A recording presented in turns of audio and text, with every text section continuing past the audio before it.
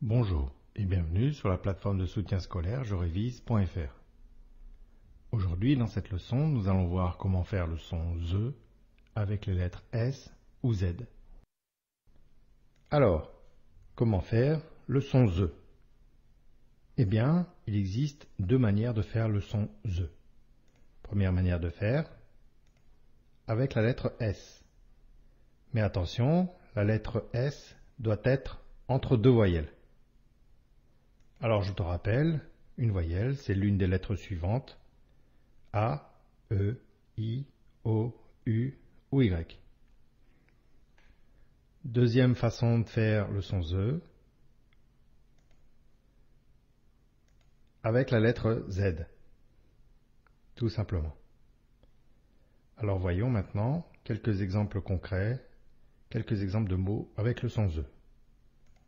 Commençons par une première liste de mots avec le son ZE fait avec la lettre S. Framboise.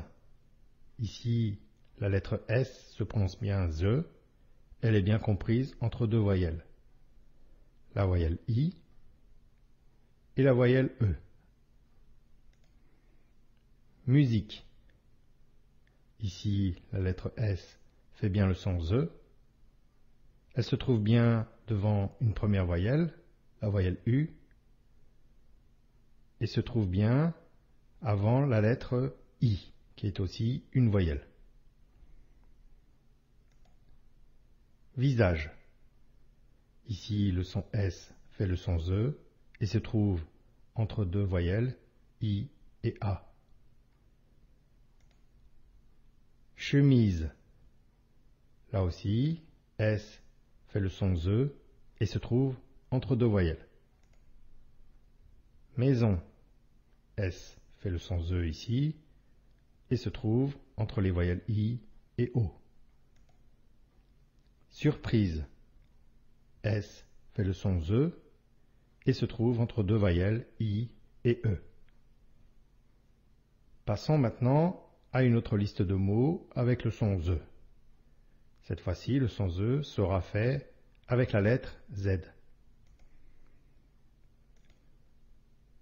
Zo. Ici, le son ZE est simplement fait avec la lettre Z. Zèbre. Ici, le son ZE est fait avec la lettre Z également. Zéro. Là aussi, on fait le son ZE avec la lettre Z. Alors, retiens bien, il existe deux façons de faire le son ZE. Première façon avec un S entre deux voyelles. Deuxième façon de faire le son ZE avec la lettre Z.